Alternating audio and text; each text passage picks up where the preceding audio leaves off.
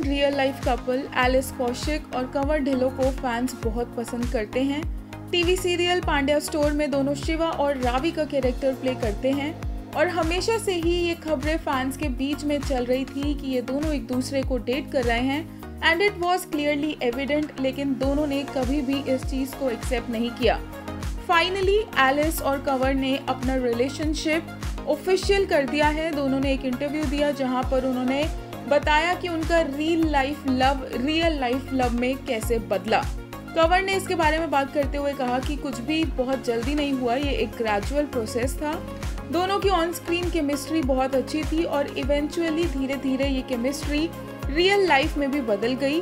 Unknowingly Shiva और रावी जैसे हैं, वैसे ही कंवर और एलिस भी है। कंवर ने यह भी कहा कि वो काफ़ी ज़्यादा मज़ाक करते थे कि शिवा और रावी कितने ऑपोजिट है। ये रियल लाइफ में तो कभी जोड़ी बन ही नहीं पाएँगे और देखते ही देखते कंवर और एलिस एक दूसरे के काफ़ी ज़्यादा करीब आ गए और एक दूसरे को पसंद करने लगे और एक कनेक्शन बन गया।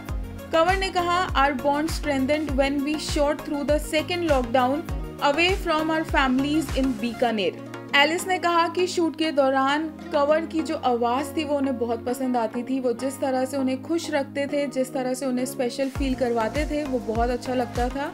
एलिस ने यह भी बताया कि कवर ने उन्हें कैसे प्रपोज किया।